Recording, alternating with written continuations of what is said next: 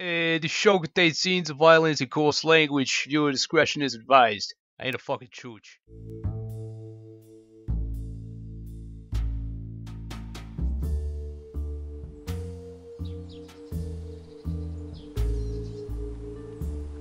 Let's give ourselves some drive, some motivation to fucking live. And every good group needs a boss. And that boss is me. So if you all agree to this, you want to take on this new world, then you just need to follow me. We're going south, boys. Fuck yeah. Oh, I'm down. And they followed. And that was the day the New World Mafia was born. Oh,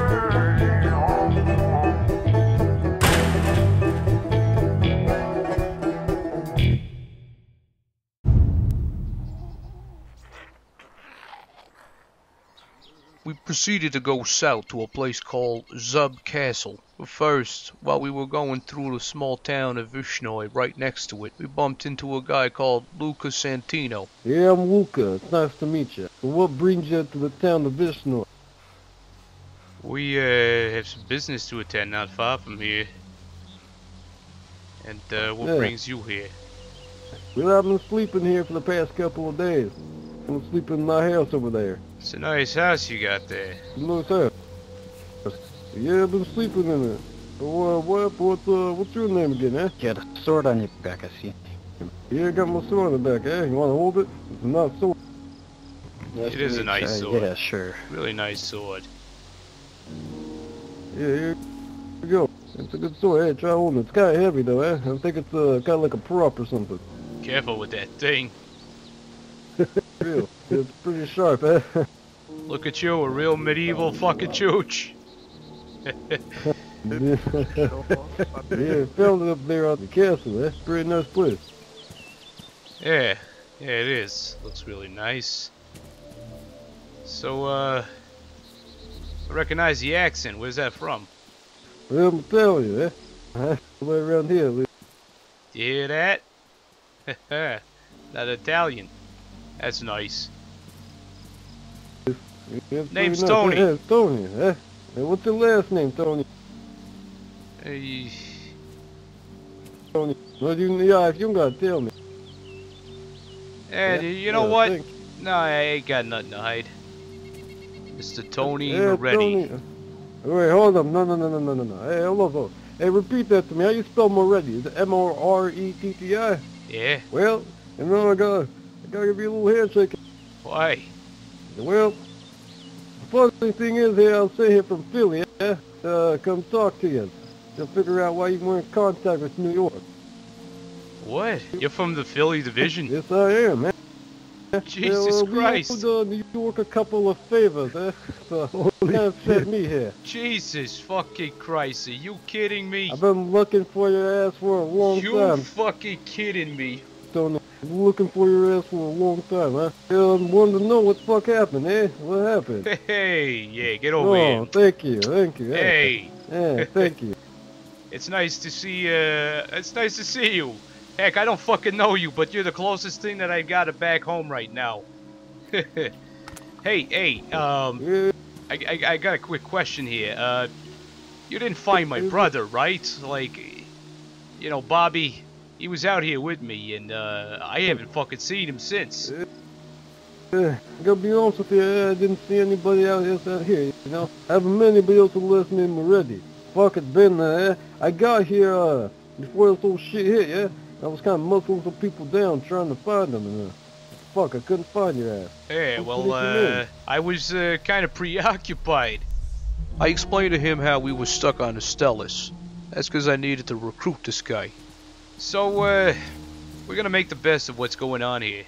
And I like the feeling of being Oh. like, uh, how do I say, uh, like back home, you know? And the only way I'm gonna get that is by forming what we call, and very respectfully, a mafia. You get my drift.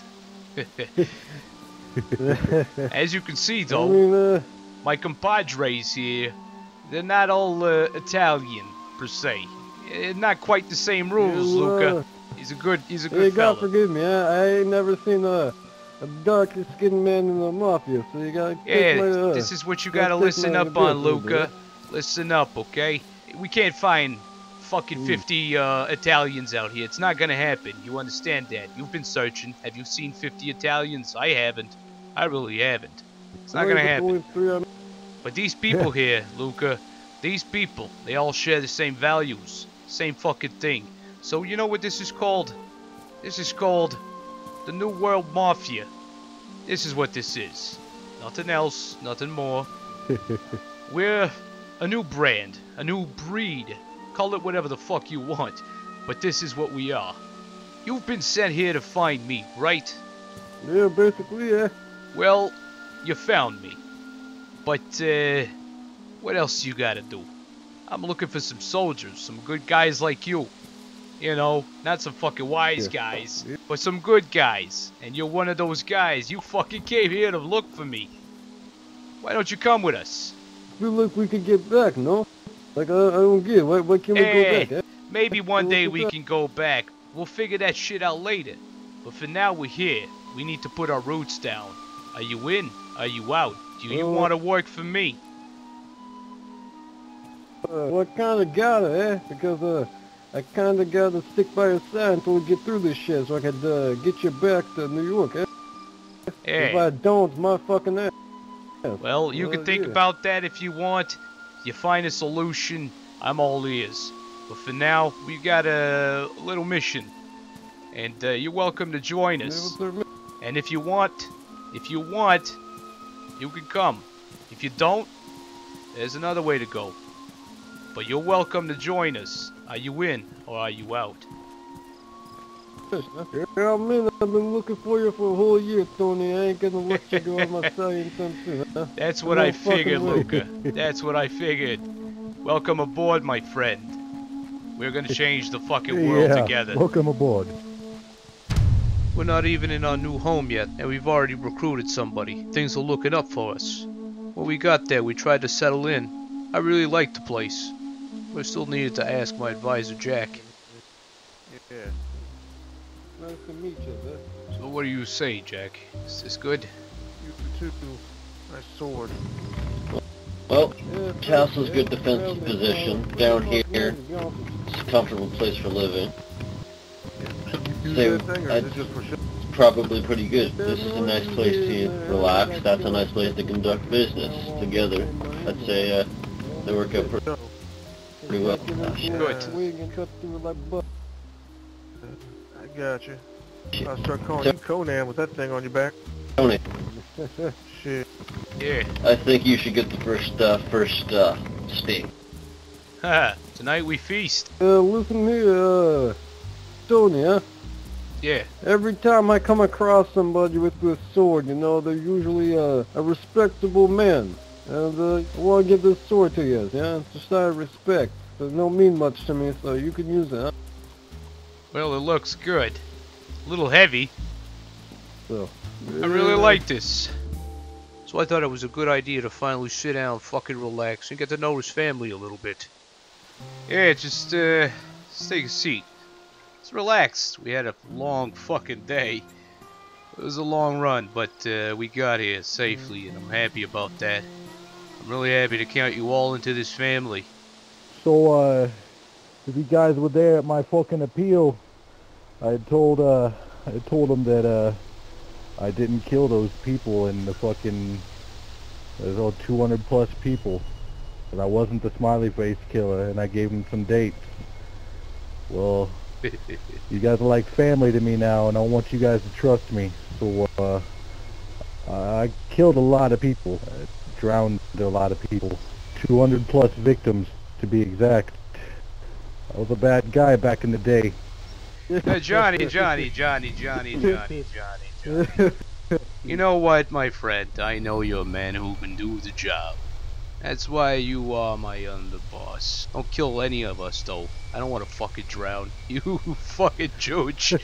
Well, I never talked much about any of this shit to y'all. I know that. You know, I uh, I did my time in a gang or two. Got busted up. Uh, turns out they uh, they were willing to expunge my records as a juvenile. You know, I I put myself through uh, a waste of my fucking time to be honest. I uh, I tried to get into a legal program. You might remember uh, your little trial there. That's where I picked up some of that uh, Yeah. information. So, uh, you know, that didn't pan out. Ended up over here helping out one of my old buddies from my old crew. His, uh, grandma. A couple of fucking Russians over here being hard ass and, uh, there wasn't nobody to help her out. So, three of us came over and we took care of some business. Unfortunately, everything went to shit. You know the story. You've been through it. I guess I wouldn't mind uh, talking. Um, didn't know my parents. Uh, I was an orphan. And, mm, didn't really wasn't a problem for me. Uh, in my eyes, I enjoyed it. Uh, got to grow up with a group of kids. Uh, they didn't really like me though. I didn't find that a problem. I didn't take long for me to uh, get rid of them. One morning uh, in the orphanage, I poisoned the porridge. There were a few dead bodies, and I didn't eat porridge that day, and mm, the police found out it was me. Uh, I got shipped off to East to go to some kid jail, I guess you could say. And one day, wake up here in uh, some hospital, and, uh, well, everything went downhill from there. The regulators uh, caught me early, uh, locked me up, uh, and, uh, well, just made it out not too long ago with uh, the rest of you, so thank you for that. So far, I haven't really told anyone, but uh, I used to be a poacher. I uh, used to take some mammals, other animals, uh, from the illegal list. Tigers and cheetahs, eh? Yeah, yeah. I got caught with attempted murder on the regulators, but uh, they kind of stopped me before I had the chance to get to them. I lost my wife at uh, at 22 when she had the kid. Yeah, sorry. I had to do something. Sorry to hear that. Really am, Phil. I didn't notice. I it's all right. I'm here for you. I told you that. We're all here for you. See, we're your wife now. if that's good enough. I mean, I don't get me making wrong. No fucking sandwiches. I ain't gonna be bending for you, but you get what I mean, right? Yeah. Different too? I uh, lived uh, I lived in uh, NYC, you know, my entire life. Uh, didn't really, uh, you know, home wasn't the best. Dad was a prick. Mom was a whore. You know, yada yada yada, boo hoo. So, ended up uh, ended up leaving that uh, leaving that place. No, I put some jobs for the mob, and uh, some well less than straight cops, as I like to call them. You know, started to hit the fan back in uh, back in New York. Snuck my way onto a fucking uh, cargo ship. Ended up in this shithole, or at least somewhere near here. Ain't much else to tell. Whatever we did in the past, fellas, that was the past fucking world. Your skills now are really needed. Being a criminal has not paid off more than now, I'll tell you that. Once we were settled in, we had a first visitor, Hunter Harris. He's Julian's friend. He came to give us some welcoming gifts, as well as some much needed survival tips. So, uh, I hear you had some, uh, perhaps some stuff, uh, that we might find useful. Yeah, um, one of my specialties is I like to collect gear, especially the hard to find stuff. I kind of run solo most of the time, so it makes it a little easier. But I figured I'd bring some stuff that I thought you guys might like that would help your group. Uh, go ahead. Show me what you got. Ammunition, because, well, this stuff is hard to come by, and this is going to determine if you're going to survive or not. One of those things that really are party, uh, party popper, if you want to call them. Oh, yeah. Oh, this is really good, Johnny. Come see here, John. more ammunition, because this is really hard to find. And that's what I've got for you guys at the moment. And then I have some information that may help you guys out. Guys, uh, this uh, this is Mr. Harris. Please treat him with respect. He has just given us a lot of good stuff. Very valuable stuff. And now he's going to give us something more valuable. Some ways to survive out there. We've all been inside for a long time. Maybe not Luca, you know, but uh, this man is an expert. And he can help us give some few tips and get ready for what the fuck's out there. So uh, let's give him a good listen. He's got a few minutes. Go ahead, uh, Mr. Harris. Is you're going to encounter a lot of ex-military groups or military groups out here. So many of them are going to be trained on how to protect. I like to roll by myself single most of the time. There's advantages to being single and there's advantages to being a group. The information I'm going to give you is going to actually help you guys more than anything. we were ready to face the new world. Most of my boys were out scouting the land looking for drugs, ammunition, weapons, whatever could help us. But on his way, Philip Smith found a possible new soldado. His real name was Lucifer Carmen. We just called him Lucas. I'm not to ask you to put away that, uh, that gun. Alright. If you've, uh, got all of your things, just follow me in here. Come in. Got the, uh, new guy. Alright, nice to meet you, sir. Eh. How about you have a seat, uh, Lupus? There you go. So, my uh, my associate here tells me you're a good man. You're looking for a place to, uh, you know, be taken care of. Family, maybe. Am I correct? Yeah. So I suppose Philip here uh, told you a little bit about what we are, what we do. Yeah, you're a businessman, right? You got it right, my friend. We need some men.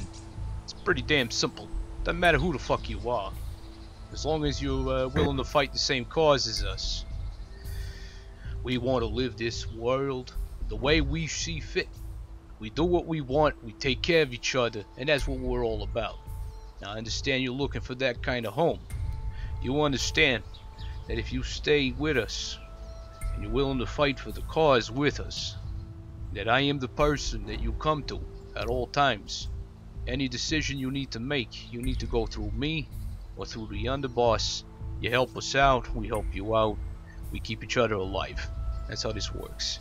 Are you willing to listen to me? Yes, I am. Good. I don't want no power struggle bullshit going on. If I hear that you're trying to take my place in an unfashionable way, it's going to be very regrettable on your part, Mr. Carmen. You understand that, right? You know, it's only a question of respect. Yes, sir.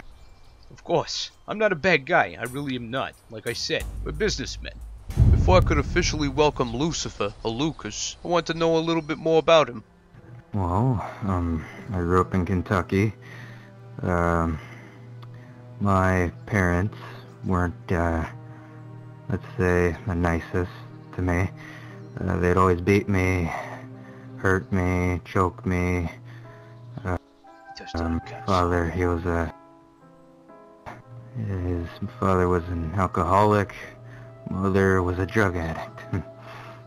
Shocker. Hmm, They're gonna be doing that to their own flesh and blood, right? I used to uh, be a referee for uh, paintball, a paintball course uh, in Kentucky. Uh, I had a beautiful girlfriend, prettiest thing in the world. She always lifted me up instead of putting me down. Hmm. She was the best. Hmm. Yeah, but you're okay here, okay? Welcome, my friend. I am glad to call you a part of the family, the soldados. You will fight for me. You will fight for us. You will fight for our cause. Yes, I will. Things are going real good. We almost had everything we needed, and almost ready to go out there and claim ourselves a new town. Wouldn't you know that Lucifer, or Lucas, is actually the one who found us our first client? He had bumped into a very distressful lady, and she looked like she might need her services. Alright, here's my boss. First thing I'm gonna need you to do is put the gun on the ground. For safety precaution, he doesn't know you yet. I do not have my gun out, so you do not need to worry. Please don't make me regret this. I'll give it back right after. Don't worry. You can trust me.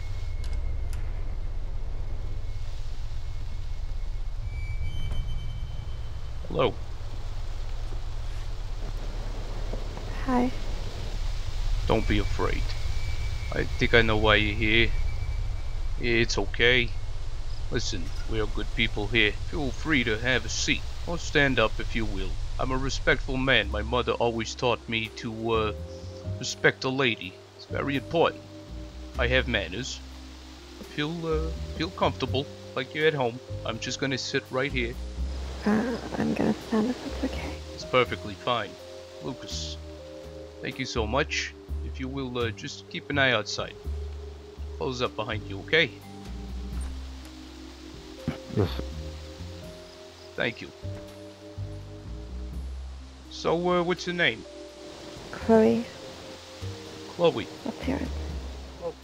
my name is Tony. Tony Moretti. You have nothing to worry about. What's going on, Chloe? I heard that you were in trouble. Um, yeah. Yes, I am. It's just, Don't be afraid. I'm all ears. I want to help you, Chloe. But you've got to help me. why? I am a man of respect. I like to help others. It makes me feel good. I make friends. These friends, they help me. It's a big circle of help and respect. That's really all this is. You're here because I want to offer my help to you. So don't be shy. I'm not going to hurt you. But I need to know what happened. Right. My friend Jacob has this person after him called Simon. Today, Simon caught up with us and he um, took us off into the woods and made me stab my friend in the leg. He made you do this. Yeah, he said if I don't do it, he was just gonna kill us. Then he got my friend to pick up the knife and carve the word Sandman into my neck. That... That is absolutely horrible. Lucas, Yes, sir. get in here, please.